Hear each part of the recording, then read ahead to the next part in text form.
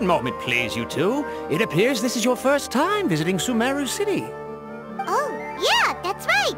But how did you know that? Because there's currently no information on either of you in the Akasha. But no need to worry, that won't prevent you from entering the city. In fact, the Academia conveniently provides each traveler to Sumeru City with a device. Hmm, perhaps you two have heard of the Akasha before. It's our beloved Greater Lord Rukkhadevata's lasting legacy, a treasure trove of collected knowledge. After centuries of tireless research on the Akasha, the Academia created one of its most ingenious inventions, the Akasha Terminal. As long as you are within Sumeru's borders, you may use an Akasha terminal to connect directly to the Akasha and access any knowledge you need. I should mention that due to technical limitations, the operation of Akasha terminals will be much smoother and more effective in large cities such as Sumeru City and Port Ormos. Oh, so this is the thing that Tighnari was telling us about. It sounds pretty amazing. You two are quite fortunate. Until recently, it was standard practice to only issue Akasha terminals to outlanders who spent an extended amount of time in Sumeru. However, this policy was recently changed, and now all travelers are issued one upon arrival. Here are your Akasha terminals. Please handle them with care. it kinda looks like a leaf. To activate it, simply hold it in your hand and say the following phrase to yourself. May the mighty God bless us with their voice of wisdom.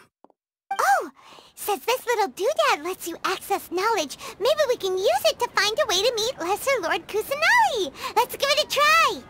Ahem. May the mighty God bless us with their...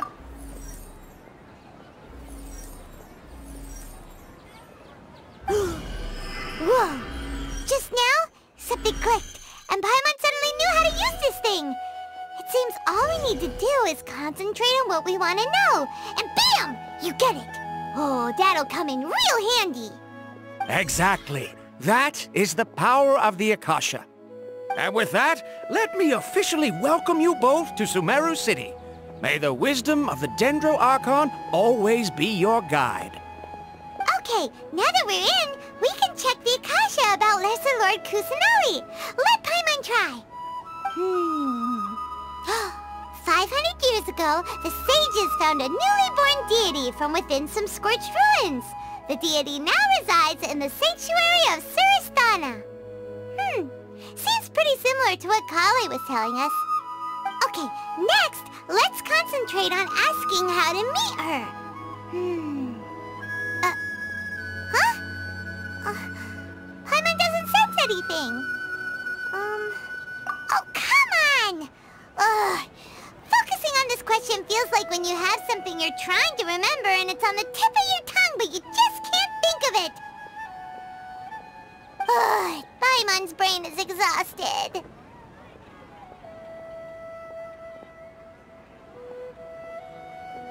Oh, smart idea. But what are you going to ask it?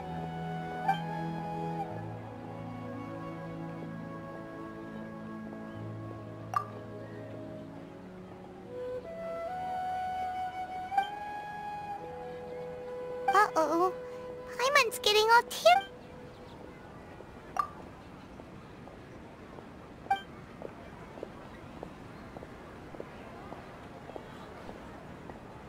Hmm.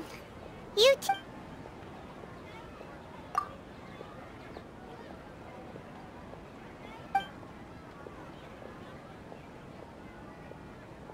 Huh.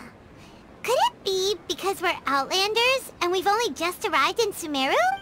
well, seems that he's from Sumeru and even has a position in the Academia. Maybe he'll be able to access more info from the Ac Let's see. Tighnari wrote an address on the letter's envelope. Oh, it's not far from the city's... Hello, are you Rohawi? Yes, that's me. Can I help you? Great! You see, Tighnari sent us here and... What? Tighnari? Uh, please, th there's no need to say anything, really. Sure, I admit that the article I published last month wasn't my best work, and may- Here, this is a letter. Oh, let me see. Ah! Ooh, what a relief. You two nearly scared the life out of me. So, you two just have some questions for me? Seems even Tighnari acknowledges my innate ability for procuring information.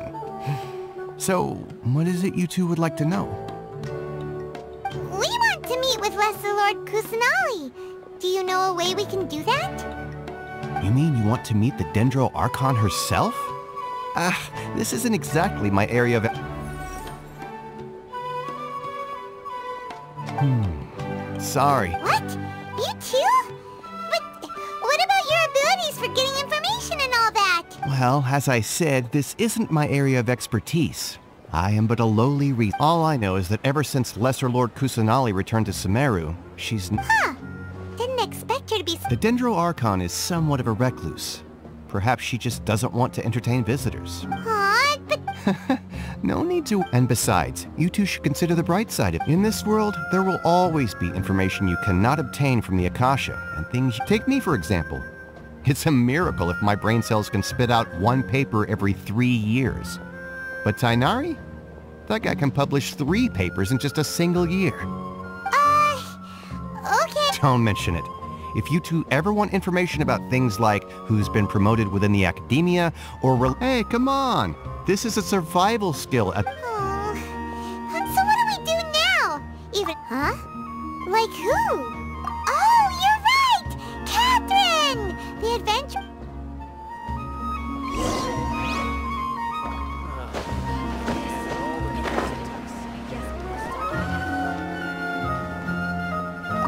Watch out for pickpockets.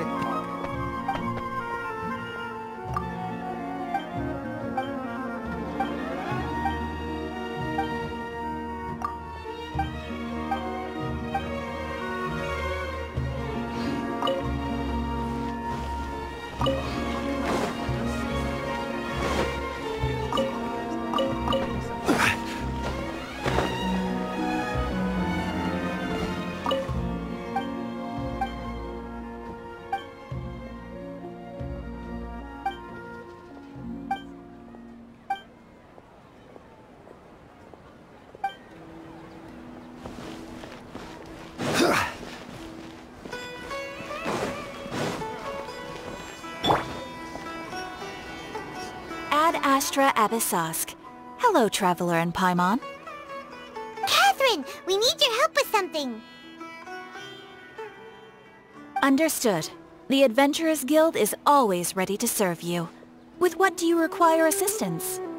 We want to meet with Lesser Lord Kusanali. Do you know a way we can do that? You two wish to meet with Sumeru's Archon. Understood. Please wait.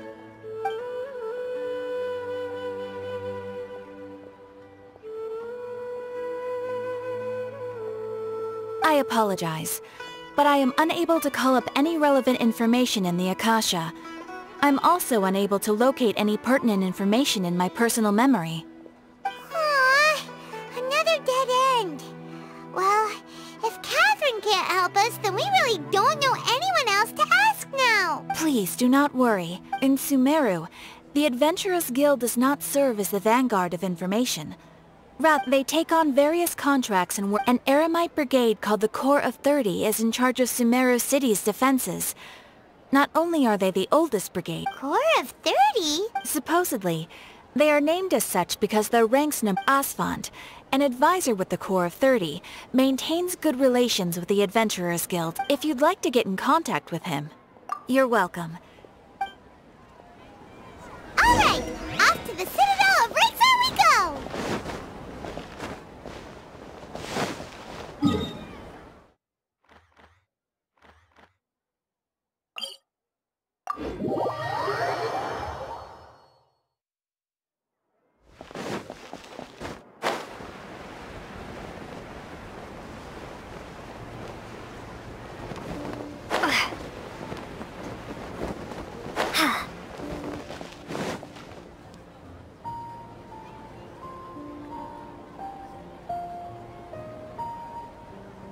Welcome. The Adventurers Guild told me to expect you to. It's nice to meet you, Asfand. We'd like to ask you about something.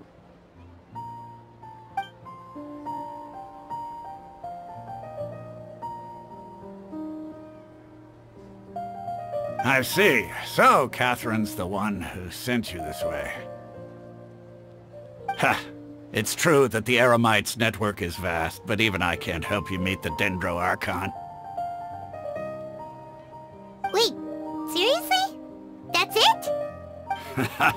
Afraid so. The Eremites aren't terribly religious, so we don't know much about divinities. As far as the Akasha goes, we can access even less than you. We originally came from the desert. The gods there died off long ago. Since those days, we've used our own two hands to carve out a living. We don't beg gods for their aid. It isn't just us, though. If you ask me, I think most in Sumeru aren't interested in Lesser Lord Kusanali. Oh? Why's that? Just take the Academia, for example. They're the ones who truly rule Sumeru. Although they believe in gods, most of them only care for the late Greater Lord Rukkhadevata. In their eyes, she was the one who founded Sumeru and gifted us with the Akasha. Lesser Lord Kusanali just happened to inherit her legacy. Because of the Academia's influence, most citizens are more familiar with Greater Lord Rukkhadevata and hold her in greater esteem. Not to mention that Lesser Lord Kusanali never makes an appearance, and the Academia never announces anything about her. As far as the people of Sumeru are concerned, she's just a god that exists. And that's all. Really? Aw. After hearing all of that, Paimon sort of feels bad for Lesser Lord Kusanali. Ha! But who knows? We're all just guessing when it comes down to it. Besides, I'm sure the God of Wisdom doesn't worry about her reputation among people like us. All right. Well, thanks for the info, Asfand. no problem. Always happy to help out the Adventurers Guild.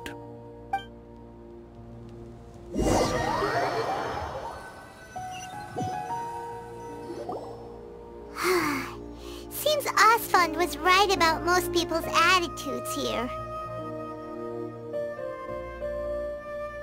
Not only are they not interested in the Dendro Archon, they even say stuff like, if the Akasha doesn't think I should know, then I don't need to know about it. We've been asking for information non-stop ever since we got to Sumeru. But the harder we try, the more helpless everything seems.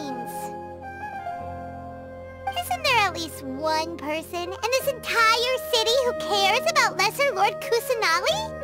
Oh, uh, you two are interested in Lesser Lord Kusanali? Huh? Who are you? From the sound of it, you two are Outlanders who recently arrived here. You've been asking around for information on Lesser Lord Kusanali, right? Oh, I'm sorry. I forgot to introduce myself. I'm Dunyarzad, one of Lesser Lord Kusanali's faithful followers. Whoa, really? Then do you know how we can meet with her? I'm afraid I can't help you with that. But your conversation earlier did happen to remind me of a legend about the Dendro Archon. Sure. It goes like this. Long, long ago, there was a man who heard a prophecy. It predicted that a great calamity was about to befall him. Panicked by what he heard, the man sought out the Dendro Archon in hopes that she would bless him with the wisdom to help him escape his predicament. The man journeyed across deserts and through rainforests and experienced tribulations of every kind. However, he still couldn't find any trace of the Dendro Archon. In despair, he thought, alas, the Archon has abandoned me. He then had no choice but to sorrowfully resign to his fate. Okay, and then what happened? And then, the calamity came. But to his own surprise, the man felt somehow emboldened by the trials of his journey. By relying on his own strength, he managed to overcome the adversity. At that moment, a bird perched upon his shoulder. This bird was, in fact, an avatar of the Dendro Archon. She said, Oh, Archon Seeker, do you now understand? She and her wisdom have long been found by you. Along your journey, we were in every flower and blade of grass, every ray of sparkling sun, and every breath of dancing wind. So long as you continue to think and ponder, we'll be wherever you go.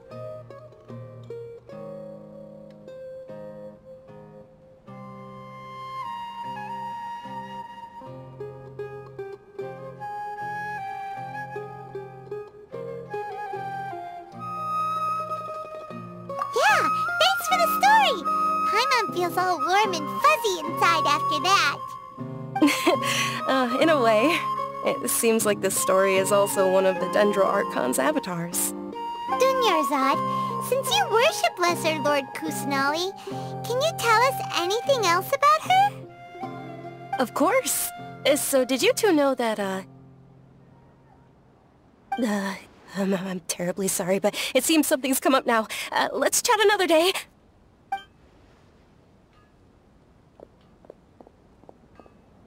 Hey, wait! Uh, what the heck just happened? It looks like they're searching for someone. Hey, have you two seen a brown-haired girl wearing a purple... Uh, did she have bandages wrapped around her wrists? Yes, that's her. Uh, yeah, she went that way. Quick, after her!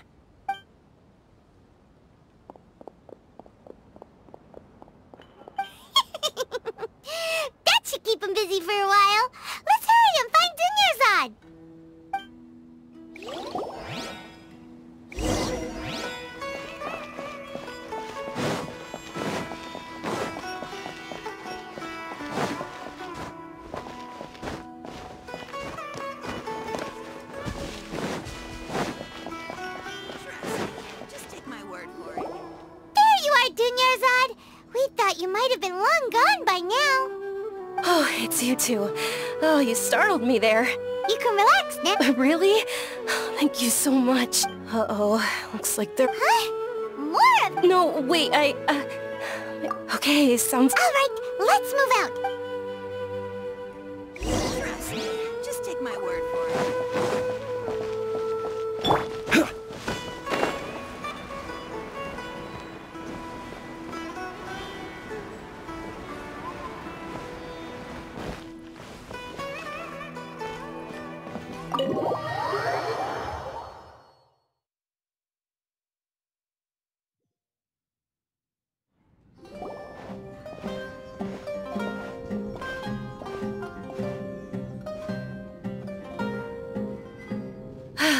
Made it. Oh, they shouldn't be able to find us now. Wait! Stand down, Dehya!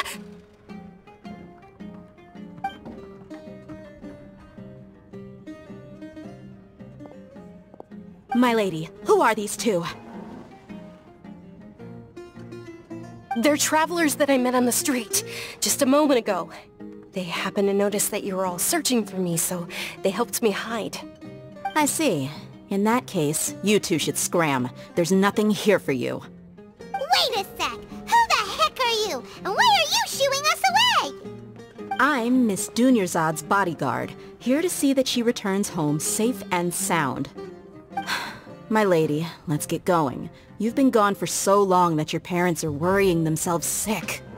And if I refuse to go with you? It'd be easier for the both of us if you cooperated. But if you insist on not going, then I'll have to carry you like a sack of potatoes. Hey, Dunyarzad already said she doesn't want to go back. Why are you still pushing her? Stay out of this. You don't understand the situation. Sorry, my lady. Even though I'm your bodyguard, your parents are my employers. I have to answer to them. How much? Wait, what? How much more uh, do I have to pay you to become your employer? So you never listen to my parents ever again. Double? A triple? Give me some time and I'll get that much. My lady, this isn't about Mora. I don't know what you think of us Eremites, but let me say this. I like Mora, but I'll never go against my principles. That's why I'm here looking for you. Sure, it's an order from my employer, but my conscience was also telling me it's the right thing to do. And knowing your health, carelessly running around like this is gonna hurt ya. For the sake of those who love you, don't be stubborn. No, you're wrong. I'm aware of my limits, and I know what I'm doing. Honestly, the only people being stubborn right now are my parents. And they know perfectly well that it makes no difference if I'm at home or not. They still won't accept reality. And every time I bring this up, they just changed the subject. Dehya, you've been living with us a long time already. This should be old news to you. Dehya, I know it hasn't been easy for Mother and Father, and I'm grateful for everything they've done for me. But there's someone else in this world I'm also grateful to. Because she saved me. The love I have for her is the same I have for my parents. This is my life and my last chance. So I want to do something meaningful.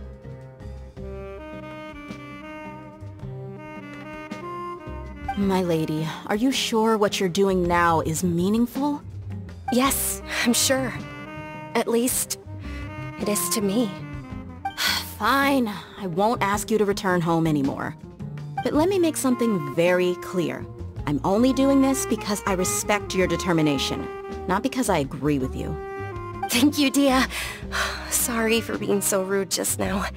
My nerves were acting up. And I even brought up your payment in such an offensive way. Eh, don't worry about it, my lady. I did say that I like Mora. Besides, that's our next topic of conversation. Today's little excursion caused such a ruckus that every single bodyguard at the estate was deployed. It wouldn't be easy to hide things from your old man. Since this definitely won't be your last escapade, here's a little tip. You should at least make it look like your room and things are still in order when you leave. Also, you'll need someone to cover you for when you're out and about. So, I'll let you hire me, my lady. This way, everyone wins. As for the pay, let's say mm, half of what your father pays me. We can settle the bill when we return to the estate. Okay, deal. Looks like they've... I'm fine, really. I, I just... My lady, stop trying to look tough. I'm sorry for worrying you two. Sure, after you rest...